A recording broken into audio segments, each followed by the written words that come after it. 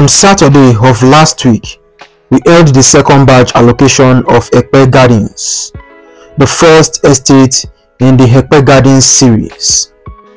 Despite the fact that it was a rainy day with the clouds fully dark throughout the day, I still took it upon myself to be present for this glamorous event. And here is my humble self. And the CEO of our partnered company declared the opening of the allocation event. And over 200 clients were allocated with their own piece of land.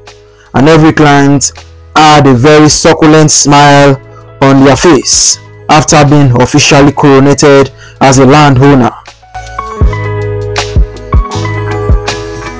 My other colleagues too were on site and many of them also came with their clients and those who had their clients in the diaspora had to represent them on the allocation day. And the allocation day was never a dull moment for me as I had so much time to interact with my colleagues and also create some entertaining comments for my social media handles.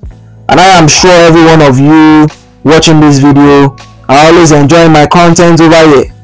And I believe that's why many of you watching this video is a subscriber to this channel and if you haven't subscribed to this channel please do so now